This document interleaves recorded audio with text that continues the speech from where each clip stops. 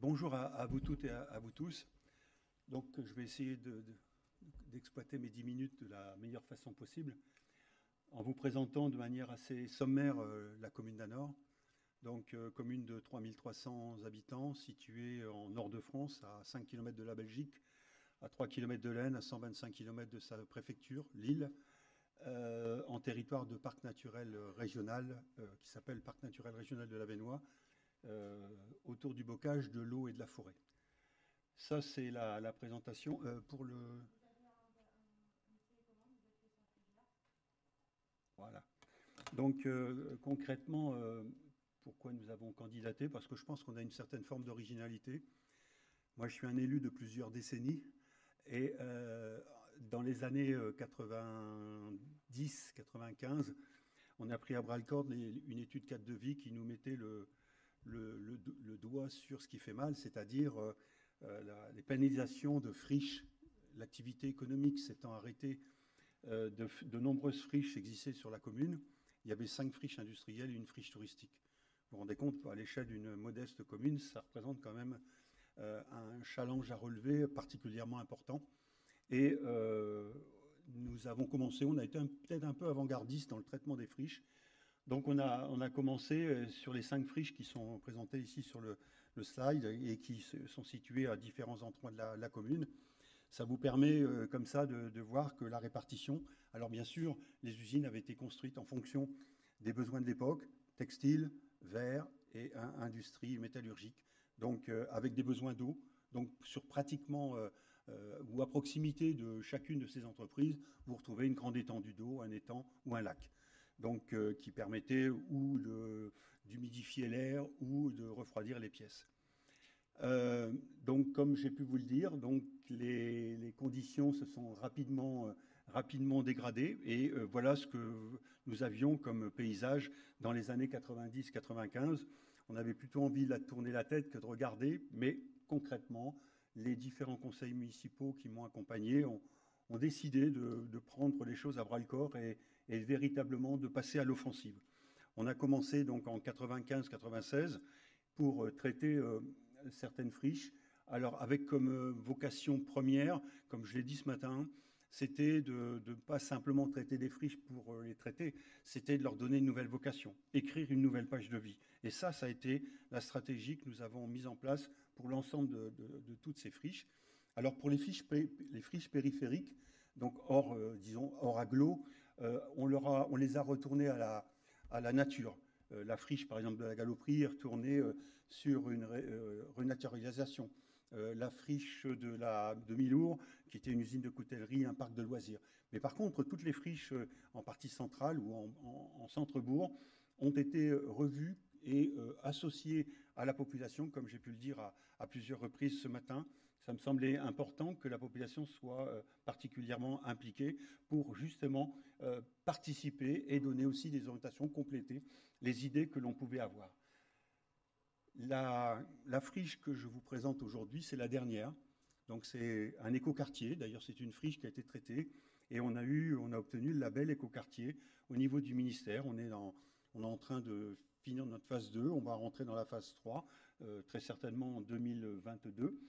Et euh, le, projet que, vous avez euh, là euh, de manière rapide, c'est aussi le fruit d'un travail que nous avons mené dans le cadre d'un appel à projet qui s'appelait Renouer, initié par le parc, initié par la DUS, Agence de, développement et d'urbanisation de la Sambre. Et cette démarche renouée nous a permis de mettre autour de la table des partenaires avec un cabinet qui nous a accompagnés. En gros, on se faisait plaisir, les, neurones fonctionnaient, on n'avait pas d'objectifs financiers et autres, mais simplement c'est de dire, et si on avait de l'argent, qu'est-ce qu'on pourrait faire de ce site? Qu'est-ce qu'on pourrait lui donner comme vocation?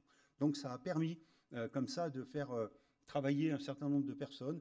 Des idées sont venues et on a essayé de coordonner avec le cabinet qui nous a accompagnés un pré-projet. Un pré-projet, mais on savait très bien que si les financements n'étaient pas au rendez-vous, ben, ce pré-projet resterait projet et il serait dans un tiroir. Ben, le, train est passé, le train, on va dire, la, la fée est passée, et on a réussi euh, à justement monter un dossier suite à ce travail. Alors, comme vous pouvez le voir, la stratégie financière a été bien évidemment de réduire notre encours de dette, de rationaliser les dépenses, de céder les quelques bâtiments que nous avions en patrimoine vers, du, vers des projets particuliers, et puis de, limiter le recours à l'emprunt. Dans la partie basse du, slide qui vous que vous avez là, euh, vous avez donc le découpage financier. D'ailleurs, je vous ai mis à l'entrée, si pour ceux qui le souhaitent, des, petits ouvrages, du petit guide de ce que euh, du projet en question. Donc, on, a, on, a, en a profité puisqu'on avait les éléments de renouer pour candidater, candidater à un appel à projet européen euh, qui nous a permis d'être retenus dans une short list d'une dizaine de projets au niveau de la région Nord-Pas-de-Calais, d'être retenus sur 35 dossiers déposés et à la clé 1,9 million de subventions, nous permettant ainsi de, travailler à l'échelle du, dossier euh, que vous avez ici derrière, en vous intéressant plus particulièrement au découpage que vous avez euh, en bas. Euh, en bas, et c'était aussi un challenge à mon niveau, j'avais pas réussi sur les anciennes friches à garder un coron ouvrier. Ça, c'était ma, c'était ma volonté. Le coron ouvrier, je pense que c'est la symbolique, c'est rendre hommage aux générations qui, sont, qui nous ont précédés, aux générations qui ont passé du temps, générations qui ont éduqué les enfants à proximité des écoles, etc., sur des secteurs qui, malheureusement, l'activité s'arrêtant, ont dû quitter ou occuper partiellement les, logements. Ce que vous voyez là sur la, droite, sur la droite du slide, c'est le, bien sûr le, bien sûr, c'est pas évident, c'est le, le, coron ouvrier. Il y avait 10 logements, on les a transformés en, en 7, mais cette fois-ci en mettant toutes les conditions euh, euh, de, comment je vais dire, de troisième révolution industrielle au niveau des, énergies, des économies, bâtiments pratiquement passifs. Donc on l'a fait avec un, bailleur social. Je pense que les bailleurs sociaux et nous, on a cette opportunité, cette chance d'avoir ce partenariat parce que on ne peut pas demander à d'autres si nous, on n'est pas, euh, au rendez-vous. Donc on a réussi à, réhabiliter et comme vous pouvez le voir, les joints ont fait l'objet d'un débat. Même les joints des, briques ont fait l'objet d'un débat. Pourquoi?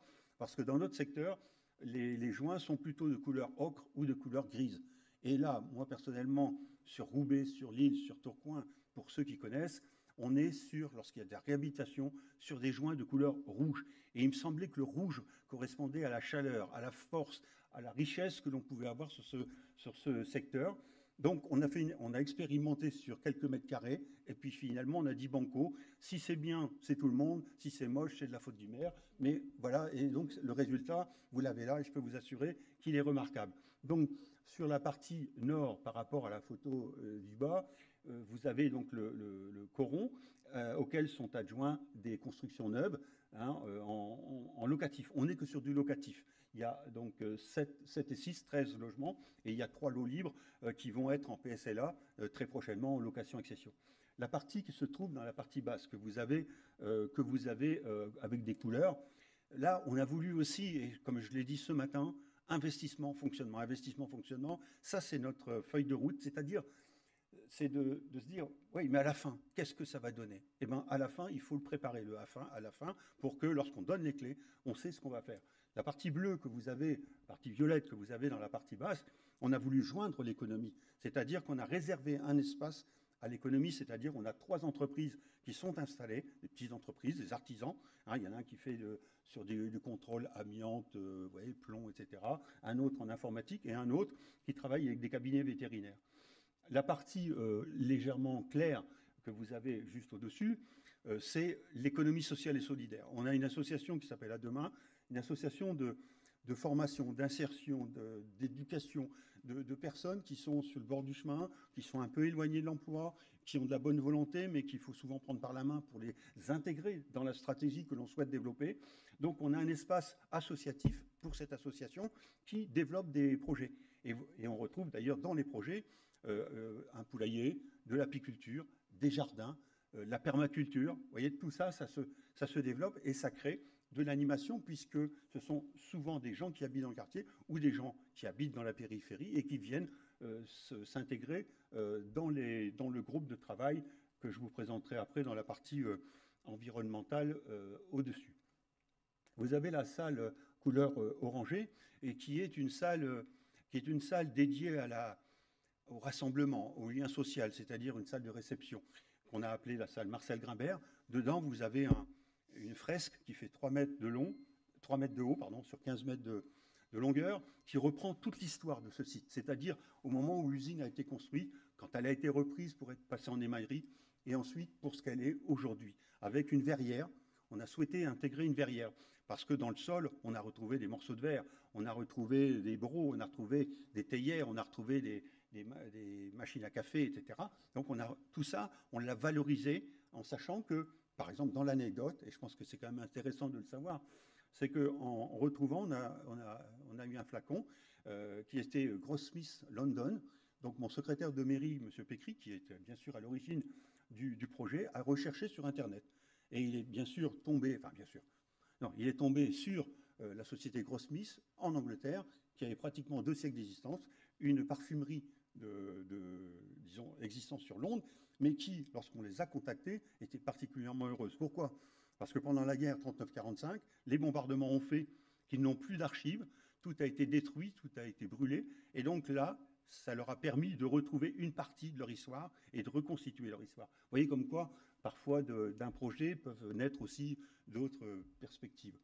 La partie, euh, la partie jaune que vous avez au-dessus, ça, c'est la partie euh, qui est réservée, euh, qui est réservée à, un espace, dirais, sportif pour l'école. On a une école qui est à 300-400 mètres et qui peut l'utiliser, mais c'est également un espace que l'on utilise depuis maintenant plusieurs mois pour un éco, un, marché, un marché de petits producteurs du territoire, où on fait venir justement ces producteurs avec un temps de rendez-vous, un temps de rencontre, avec la possibilité aussi d'échanger pour notamment les associations. On a des espaces de jeu qui sont, euh, greffés, et euh, si vous voulez, par rapport à tout ça, vous avez aussi un environnement. Hein. là, on est sur la partie architecturale. Peut-être que j'appuie sur quelque chose. ça, c'est la partie finale. Et donc, euh, sur la partie, comment je veux dire, environnementale, comme je vous ai dit, on est en territoire de parc, donc on a beaucoup de verre, on a beaucoup de, de nature, et bien évidemment, on a essayé de valoriser. Dans la partie haute, qui se trouve, enfin, partie basse par rapport au, slide qui est présenté, on a des jardins partagés. On a sept jardins partagés qui ont été attribués à des résidents de, euh, la rue des Verriers, on l'a appelé, on l'a baptisé comme ça, la rue des Verriers. On a un, jardin associatif, on a un jardin pédagogique, également un poulailler, également un espace où il y a des, des ruches et euh, il y a euh, un apiculteur, donc un de nos employés qui a cette formation qui accompagne les personnes et il y a eu une première production de miel euh, l'année dernière en, fin d'année. Voilà, ça c'est pour la partie euh, environnementale. Et en extrémité, au parti, euh, disons, à gauche, au nord de la, du slide, c'est on a également un chemin touristique. Un chemin touristique puisque on a des circuits sur la commune et on a voulu faire en sorte que nos circuits passent par, le, passent par la verrie blanche pour que les gens s'approprient le lieu, le découvre et l'utilise. Donc on a un chemin, le chemin des verriers, qui se trouve au-dessus et qui permet comme ça de découvrir euh, le, territoire. Vous avez également une mare, une grande mare qui existe, une mare pédagogique, avec le parc qu'on a mis aussi pour valoriser toutes les, tous les insectes, tous les animaux, tous les oiseaux que l'on peut trouver sur le site, de façon à ce que chacun puisse s'approprier euh, l'espace. Euh, quant au côté social de notre, de notre projet, je pense que j'ai essayé, au travers des différentes euh, explications, vous montrer que ce projet, ben, il ne s'est pas bâti uniquement avec quelques élus et des techniciens. Ça s'est bâti avec euh, des associations, ça s'est bâti avec des gens, des gens qui ont voulu participer, qui ont donné leur avis, qui ont été associés à la démarche. Parce que la démarche, on a fait, il y a eu des plans euh, qui ont été trucidés, qui ont été revus, qui ont dit ah ben ce serait mieux ceci, ce serait mieux cela. Mais aujourd'hui, ce que j'en retire, c'est de vous présenter le projet qui est pratiquement, euh, enfin, qui est terminé pour euh, ce que je viens de vous présenter. Il nous reste, euh, il nous reste la deuxième phase, la partie au nord, hein, donc avec un béguinage pour des personnes âgées. Monsieur Le Bouche parlait de vieillissement. Effectivement, je crois que dans les territoires ruraux, plus particulièrement, il est important d'être attentif au vieillissement du, du plein pied, de l'intergénérationnel, permettant aussi des relations entre les enfants, les parents et éventuellement la grand-mère qui devient grand-mère d'enfants dont ce n'est pas la famille. Voilà. Et ce qui me semble particulièrement important, et surtout euh, une évolution dans notre société, c'est de créer du lien social pour que véritablement les, les, personnes qui vivent aient envie de s'impliquer. Donc, ce qui veut dire que, voilà, après deux ans, on a inauguré en décembre 2019, après allez, un peu plus de presque deux ans de fonctionnement, qu'est-ce que j'en retire avec la Covid-19 hein, quand même eh ben, C'est que globalement, aujourd'hui, il n'y a eu aucun déménagement. C'est-à-dire, aucune personne n'a quitté les 13 logements dont je vous ai parlé. Euh, donc, ça veut dire quand même que si j'y reste, c'est que je suis pas trop mal. La seule personne qui a bougé, enfin la seule couple qui a bougé, dans le cadre du parcours, de, résidence, c'est parce qu'ils ont acheté une maison et donc on est dans, dans, la continuité et ils sont restés sur la commune. Donc, et ils continuent de participer aux activités. Ce que je voulais aussi vous dire, le territoire du parc, là sur la maison qui va être déconstruite euh, prochainement, qui va libérer de l'espace, qui va valoriser le, l'écoquartier. On a trouvé, euh, les travaux auraient dû être faits, mais l'EPF en déconstruisant a trouvé dans la cheminée un, nid de chouette chevêche, espèce protégée. Donc le, chantier a été décalé. Normalement, c'est prévu pour le mois d'octobre, mais c'est pas pour autant qu'on dit on déconstruit, on fait rien. Avec le parc, on a revu pour positionner des nichoirs qui vont venir agrémenter. Donc vous voyez, tout ça, c'est de la vie. Hein, je veux dire, c'est d'autres projets qu'on a fait, mais on n'a pas le même niveau. C'est-à-dire, on a fait une résidence, point, point barre, on a donné des clés, les gens sont là, mais il n'y a pas de, en gros, il n'y a pas de la dynamique. Là, sur un sujet comme celui-là, il y a une dynamique, il y a une volonté, et on est en permanence en train de souffler sur les braises pour garder la dynamique. On fait aussi en sorte que les habitants soient des citoyens engagés, qui prennent des responsabilités. Et cette année, si on peut, ou l'année prochaine, si effectivement cette année c'est pas possible, on va faire la fête des voisins pour que justement ces liens puissent être développés, puissent être continués. Euh, voilà, donc euh, prochaine opération pour la, construction dans la partie haute, cette, location, euh, cette location simple, un béguinage dans la partie haute et des lots libres pour, pour comment je veux dire, permettre justement la mixité sociale. Je suis à combien là? Voilà. Donc je vais, je vais conclure en vous disant voilà, j'ai été très honoré que notre commune soit sélectionnée dans ce dispositif. Je pense que c'est aussi le, voilà, le, regard ou le zoom tout particulier sur une commune qui a eu ce, voilà, ce, challenge de relever six friches, hein, parce que sincèrement, euh, pour ceux qui en ont une à traiter, c'est déjà compliqué, mais d'en avoir six, je peux vous assurer que on voilà, c'est pour ça que j'ai les cheveux blancs d'ailleurs, je pense. Mais sincèrement, sincèrement, euh, quand on fait un bilan de, mandat euh, au pluriel, on se dit que c'est certainement une des plus belles réussites. Une des plus belles réussites parce qu'on redonne de l'espoir, de la vie, de l'avenir à certains espaces qui aujourd'hui sont réappropriés par la population. Voilà ce que je voulais. Je vous remercie pour votre attention.